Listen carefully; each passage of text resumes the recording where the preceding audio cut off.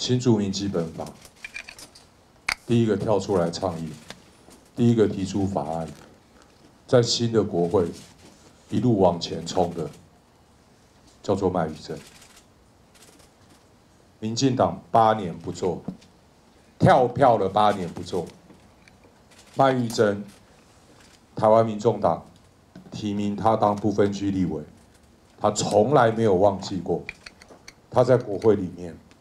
最重要的责任，就是帮我们所有新住民的同胞、新住民的姐妹、新住民的兄弟，所有认同台湾这块土地的新住民，争取他们应该有的权益，让他们不要再被歧视。麦玉珍在这个协商的会场做了多少的退让？他做了多少的退让？他一再退让，一再忍受，因为他心里面记得的是新住民。退让到他连他推出来的法案名称都被民进党改了，结果这样民进党还不满意。麦玉珍一再委屈，有求到权吗？没有。他一再忍耐，一再委屈，一再退让，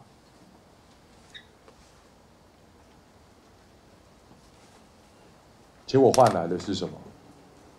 铺天盖地的抹红，铺天盖地的抹红。这个周末。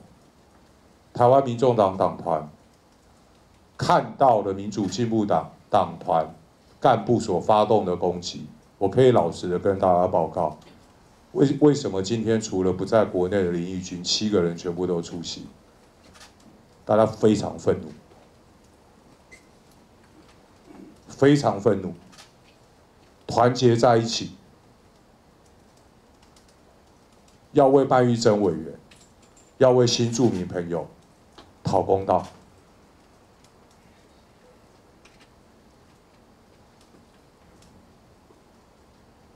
新住民的人数逐年升高，他们被歧视的问题，赖清德总统没看到吗？赖清德总统没有看到吗？选前的时候，如同齐凯所讲的，为了骗票。什么花言巧语都讲得出来，选后公然的歧视。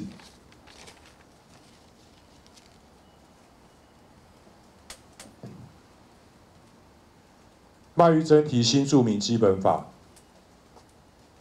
刚刚三三委员讲的很清楚了，在政策上面做宣誓，要求行政部门要履行义务。他什么时候可以凌驾其他的法律？民主进步党自己的发言充满了错乱。来，我带大家看，刚刚有一章本来要讲的，后来跳掉没有讲。民进党一方面说基本法是空中楼阁，只有政策宣示的效力，没有效果。结果转头一变，变成什么？基本法高于其他法律，很可怕。随时不断在转换自己的立场，随时不断在自打脸。只要符合民进党的政治利益，民主进步党的立委推新著名基本法是叫好棒棒，麦玉珍推新著名基本法是在卖台啊，够了没有？够了没有？还要抹红到什么阶段？还要抹红到什么程度？麦玉珍委员有像你们民进党的人，为了赚自己口袋里面的钱，出卖国家的科学城物流吗？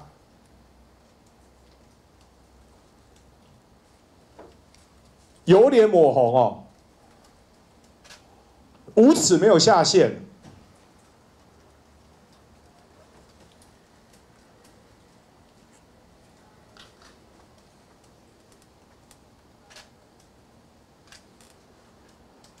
依照党团的决议，这个周末，麦玉珍委员、黄珊珊委员在党团正式提案撤迁协商。接下来依照议事程序进行，委屈换来的。竟然是抹红，委屈退让换来的，竟然是在这整个立法的过程当中，再一次的践踏新住民的尊严。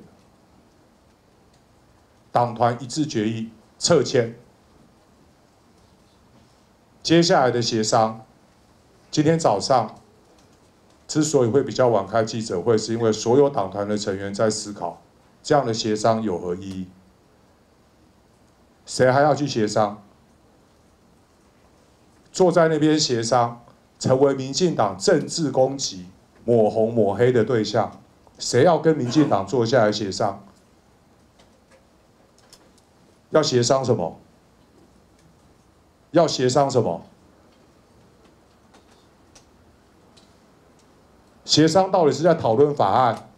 还是让民进党恣意的发动攻击，抹红抹黑。就像我上礼拜，我坐在那边协商打诈释法，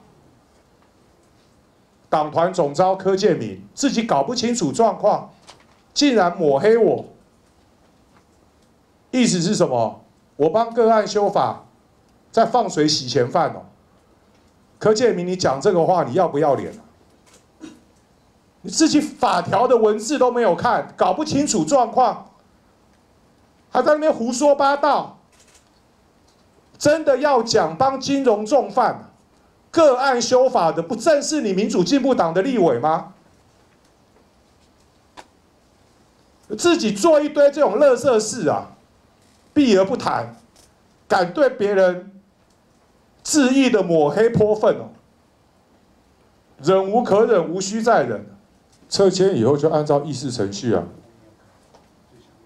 哪一个国有哪一个国家的制度法律是要用桥出来的？党团协商的制度本来就是中华民国台湾独步全球的制度啊，哪一个国家的法律规定法法律是要用桥出来的？这个问题我也可以建议大家可以去问问民主进步党国会改革大师林卓生。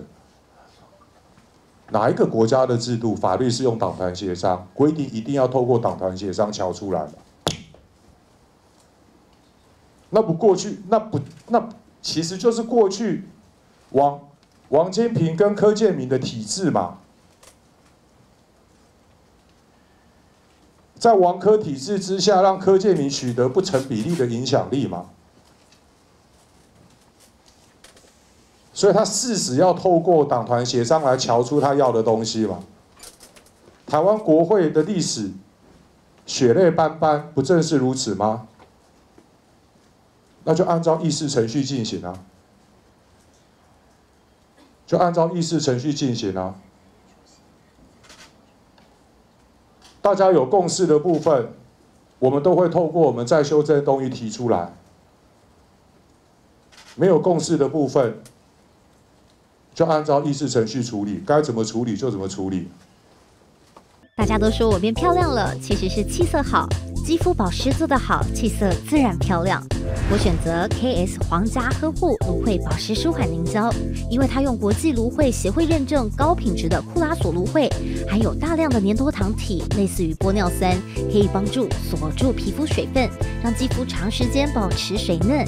还运用 TTS 技术，增强芦荟的生物活性，修护舒缓日晒后的各种不适。KS 皇家呵护芦荟保湿舒缓凝胶，帮助您随时拥有水润肌、好气色。